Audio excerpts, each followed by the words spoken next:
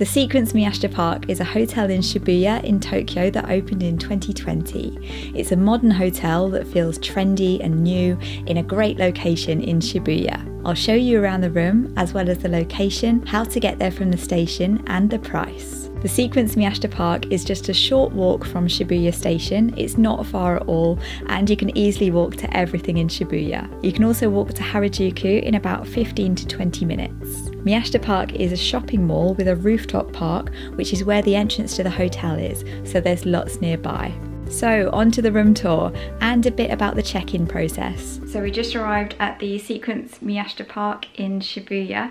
The check in process was to be honest, a bit aggravating. I don't know if we could have coped with that after a long flight. We've just been on a bullet train journey and been hauling the suitcases through Shibuya station, so we're quite hot and tired, and it seemed like a lot to deal with. When we came into the hotel, it seemed really bustling and busy and quite loud because when you come into the entrance from the park, you go into a sort of cafe, coffee shop, bar, and it's a Saturday night at the moment, but it was full of people and we wondered is this the hotel lobby? Have we gone into the wrong place? But we went around the corner and there was the check-in section which has ipads on a central area. There are some members of staff there so you could ask for help if you needed to. It seemed like quite a lengthy process on the ipad.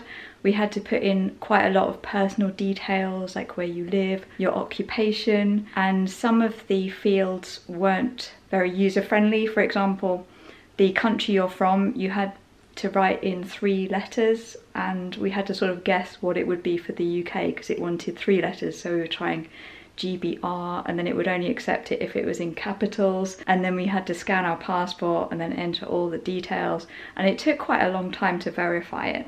There's 200 yen accommodation tax to pay.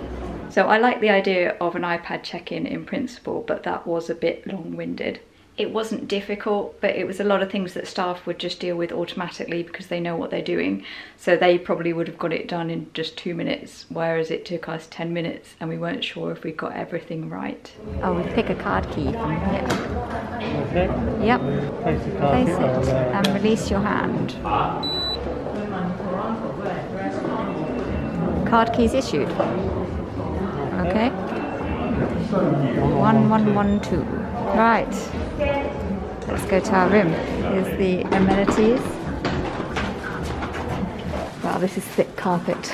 So check-in was a bit of a faff to be honest, but the room does seem pretty nice and the general vibe of the hotel is quite trendy. It's quite a new hotel so everything's in really good condition and the carpet is quite plush. It was quite difficult to pull the suitcases along on but nice for walking on. Let me show you around. Oh and this is a slightly upgraded room because the basic cheapest room did look very small in the pictures so we picked an upgraded room which has a view of Miyashita Park. Also, sorry if I always look so sweaty and terrible in these room tours. it's because we've just arrived and I wanted to show you everything as is. So here's the room. There is a bit of space. It's not the smallest room, but it's not huge either. By the door, we've got a full length mirror for getting ready. And I've just shoved all the suitcases here for now, but it looks like there should be room to lay them out once we've opened them up. There's some hooks on the wall here and some hangers so you can hang your coat or some of your clothes that you don't want to get creased. The basin is in the main area of the room, sort of in the corridor. Some hotels seem to be doing this now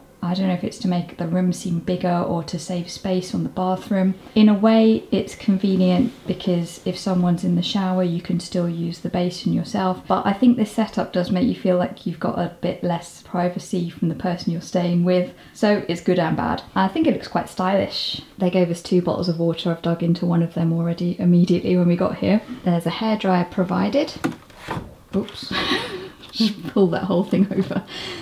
There's a fridge you can use to keep your drinks cool.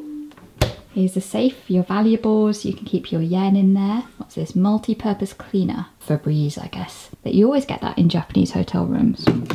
And of course, we've got slippers. Antibacterial slippers. Let's take a look in the bathroom. It's got this translucent door. So in here we've got the toilet and the shower. Towels are provided and there's your Toto Japanese washlet toilet and next to the toilet the shower's here with this glass sliding door I think this looks nice and stylish as well It's got a rain a rainfall shower head. Is that what you call that? A rain shower head? And you also get this shower head that you can remove. And body soap, conditioner and shampoo are provided. This is quite a spacious shower cubicle, it doesn't feel cramped at all. So let's see the rest of the room. This is a twin room, so there is quite a lot of space there. I think it looks quite nice with this um, platform that it's on. looks good. I like how these compartments are illuminated. There's some cushions here so you could lounge on here and enjoy the view. And we've got a lovely view of Miyashita Park. It's a Saturday night at the moment and it seemed like there was quite a lot going on down there. There were loads of people hanging out just with their friends. Or you can see the trains going by, that's good. Towards Shibuya Station, which is just up there. And underneath this park is a shopping mall with lots of shops and quite a lot of restaurants that we saw on the way up. Looks like there's a lot going on down there. And this is a really nice view of Shibuya actually. You can see Shibuya Stream. That building says Google, maybe Scramble Square. Lots of new skyscrapers in Shibuya. And I think that's the hotel we were staying in last week. The Shibuya Excel Hotel Tokyu. Tokyu Hotel Shibuya, something like that. And there's Tower Records and the Yamanote line. Is that the Yamanote line going past? Maybe not. We're on the 11th floor. You can't hear the traffic or any noise from down in the park, but you can hear the trains. They're not too loud. The trains stop at about midnight in Tokyo, so they won't be running at night time. Oh, you can even see the trains going past in that uh, bridge over there. This is a stunning view, seeing all those skyscrapers glittering in front of you. While you can't see very far, what you can see looks really good. Can you see all the lights on the Fukuras building there? It looks really cool. I loved this view. It was fun to watch the trains both at night time and during the day. There's an iPad it looks like you can set an alarm. Reception, you can call people, local information, check out information. There's a big TV. I think this is on an arm that you can swing round so you can watch it from the bed. Yeah, there we are. This is quite big TV. In this drawer, there's pajamas. And by the bed, you've got controls for the lights and USB charger and a plug. USB charger is so useful. All new hotels should have one and there's the same on the other side by the other bed. There's also air conditioning, which is usually used for heating as well as cooling in Japan. There's a rooftop bar on the 18th floor. Oh, it looks quite nice. And there's an art museum.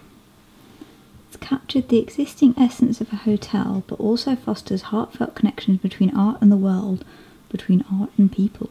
Wow. You can get to the hotel mostly underground through Shibuya Station. Shibuya Station can be a bit confusing because it's got so many different levels and so many different exits, and sometimes the lifts and escalators don't take you to the level you want to go to, or you don't even know which level you want to go to. We found a way if you go down to the bottom floor, B1 or B2, the level with the subway on. If you look for exit B1, that's the closest one to the hotel and it takes you almost all the way here. Then you can pop out to ground level and go up one of the lifts in Miyashita Park to the top level with the park, and that's the level the hotel entrance is on. This is the lift we appeared at after we came up from ground level, so you can see it's quite a short walk to the hotel entrance from there. Even in the evening, about 8.45 on a Saturday night, the cafe downstairs was full of people and bustling. I was surprised how busy it was. I don't know what was going on in this room, but I wish I was invited. Here's a plan of Miyashita Park. There's a skate park, a bouldering wall, multi-purpose sports facility. Wow, there's a lot going on here. And the hotel is at the end. There's the opening hours. Here's the climbing wall. You have to pay if you want to use it. And there's the opening times 9 till 10 and here's the skate park. There's a couple of sections to it. It looks quite good actually. There's this uh, bowl section as well. This is really hard to film through the fence. Why does my camera want to focus on the fence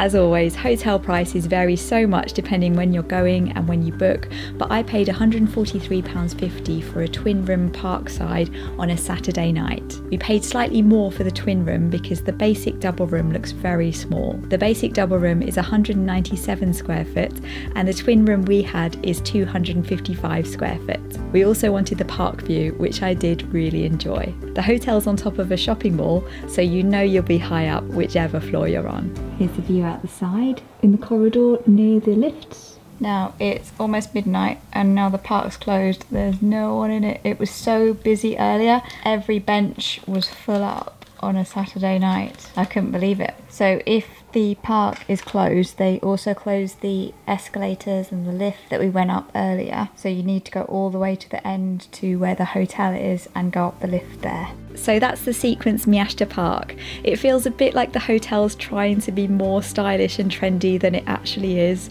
but it was comfortable to stay in and I loved the view of the park and the trains.